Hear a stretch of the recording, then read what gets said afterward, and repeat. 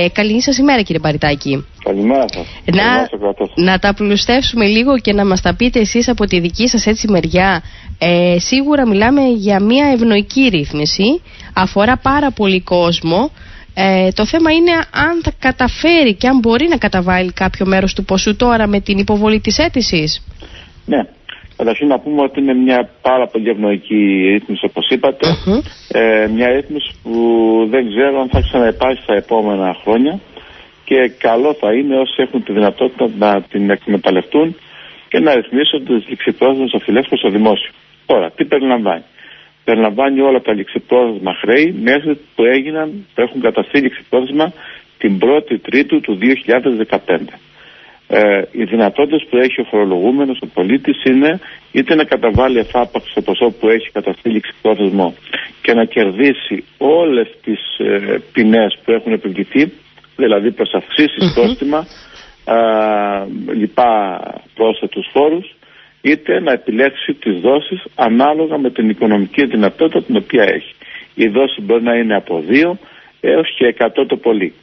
Η, το ελάχιστο ποσό της δόσης είναι 20 ευρώ εφόσον βέβαια το κεφάλαιο το οποίο ρυθμίζει το επιτρέπει. Δηλαδή δεν μπορούμε για 10.000 οφείλει να, να υπάρχει 20 ευρώ. Θα περιοριστεί ανάλογα. Όμως ε, η δυνατότητα είναι 20 ευρώ το ελάχιστο ποσό που μπορεί να δώσει για τη ρύθμιση. Και μάλιστα κύριε Μπαριτάκη, ε, εάν κάποιος υποβάλει μέχρι και τις 27 Απριλίου την αίτηση, ε, αίτηση για να προκαταβάλλοντας έτσι μέρος βασικής οφειλής με ελάχιστο ποσό όπως διαβάζω εδώ το δεκαπλάσιο της ελάχιστης δόσης δηλαδή τα 200 ευρώ αυτομάτως θα υπάρχει και κάποια κατάργηση του αντίστοιχου διαγραφή καλύτερα του αντίστοιχου ποσού ε, είτε για, μιλάμε για προσαυξήσεις, είτε μιλάμε για πρόστιμα, είτε μιλάμε για φόρους και τόκους. Ακριβώς, δίνεται αυτή η δυνατότητα μέχρι 27 Απριλίου, είτε να πληρώσει εφάπαξ και να διαγράψει το 100% των προσαυξήσεων, είτε να δώσει ένα ποσό με το ελάχιστο δεκαπλάσιο της ελάχιστης οφειλής σε 200 ευρώ ή όσο περισσότερο μπορεί να δώσει ο, ο φιλέτης και να διαγραφεί το αντίστοιχο ποσό σε πρόστιμα, σε προσαυξήσεις και σε πρόσθετους φόρους. Είναι μια πολύ καλή ρύθμιση που δίνει τη δυνατότητα από τη μια να ρυθμιστούν οι οφειλές αυτές και από την άλλη να διαγραφεί ένα σημαντικό μέρος των προστήμων που έχουν ήδη ε, υποβληθεί. Και βεβαίως πρέπει να πούμε ότι για οφειλέ μέχρι 5.000 ευρώ είναι άτοκες, δηλαδή δεν υπάρχει κανένα στόχος στη ρύθμιση. Για οφειλέ από 5.000 ευρώ και πάνω το επιτόκιο, ο τόκος είναι 3% σε ετήσια βάση. Ε, να πούμε επίσης ότι η ρύθμιση γίνεται μόνο με ηλεκτρονικά. Mm-hmm. Το TaxisNet άνοιξε χθες το μεσημέρι. Ε, η υποβολή λοιπόν της αίτησης για ρύθμιση γίνεται με ηλεκτρονικό τρόπο.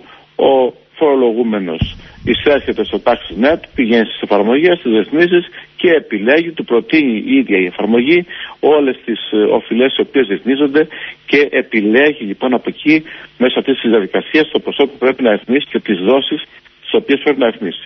Πρέπει όμως ναι, ναι. να γνωρίζει ο πολίτης ότι ε, ε, έχει υποχρέωση να καταβάλει τις τρέχουσες οφειλές. Δηλαδή, για να είναι σε ισχύ η ρύθμιση πρέπει να πληρώνεται κάθε τρέχουσα υποχρέωση που έχει απέναντι ε, στην ΔΟΗ, δηλαδή το φόρο εισοδήματος που θα έρθει φέτος, τον Ιούλιο, τον Αύγουστο, πρέπει να πληρώνει εμπρόθεσμα τις δόσεις για να είναι ενήμερος και στη ρύθμιση του. Ε, και ε, είναι αυτό που δεν ξέρω αν ισχύει ότι ε, από τη στιγμή που θα καταβάλει το, την αίτηση θα πρέπει να πληρώσει μετά από τρεις ημέρες. Να... Ναι, Εντός τριών από την ημερομηνία που υποβάλλει την αίτηση θα τυπώσει την ταυτότητα οφειλής ε, που του προτείνει το σύστημα και μέσω τραπέζι στη συνέχεια ή μέσω του internet banking, όλα αυτές οι γνωστές διαδικασίες που ακολουθούμε τελευταία, να γίνει η εξόφληση της πρώτης δόσης για να είναι σε ισχύ η ρύθμιση. Έχει τρεις μέρες λοιπόν περιθώριο από τη στιγμή που θα επιβάλλει την αίτηση να πληρώσει και το ποσό που αναλογεί στην πρώτη δόση για να, για να μπει αυτομάτως σε ισχύ η ρύθμιση. Και η υποβολή μετά γίνεται κάθε τελευταία εργάσιμη μέρα του μήνα μέσω πάντα τραπέζης. Εγώ να προσθέσω και με τα στοιχεία που έχουμε ότι από τα 3.600.000 πολίτες που αφορά αυτή η ρύθμιση 9 στους 10 έχουν φόρο εισοδήματος, ε, χρωστάνε δηλαδή για φόρο εισοδήματος, για ένφια, για χαράτσι του 2013 και για φόρο κληρονομιάς. Και επίσης 9 στους 10 χρωστάνε ποσά λιγότερα το, ή έως και 5.000 ευρώ. Ε, ήσταν πάρα πολύ αναλυτικός. Δεν ξέρω τώρα αν κρύβεται κάποια παγίδα Συνήθως πίσω από αυτές τις ρυθμίσεις μπορεί και να υπάρχει έτσι κάποια παγίδα για τους ε, φορολογούμενους που πρέπει να το προσέξουν. Ή απλά και μόνο.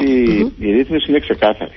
Αυτό που πρέπει να προσέξει ο φορολογούμενος είναι να μπορεί να ικανοποιεί τη ρύθμιση. Ε, διότι είναι κρίμα να πληρώσεις 10-20 δόσεις και στη συνέχεια να μην μπορείς να πληρώσεις τα υπόλοιπα, να χαθεί η ρύθμιση, που σημαίνει ότι επανέρχεται πίσω στην κατάσταση που ήταν αρχικώ, δηλαδή επανέρχονται όλα, όλες τις προσαυξήσει και τα πρόστιμα. Άρα λοιπόν, επιλογή σύμφωνα με τις οικονομικές δυνατότητες που έχει ο κάθε πολίτης να κάνει, πρέπει να γνωρίζει ότι πρέπει σε κάθε περίπτωση να πληρώνεται τα τρέχοντα, αυτά τα νέα δηλαδή, ε, οι νέες φορολογίες που θα έχει ο κάθε πολίτης, είτε είναι φόρε οδήματο, είτε είναι ΦΠΑ, είτε είναι τέλη κυκλοφορία, mm-hmm. οτιδήποτε.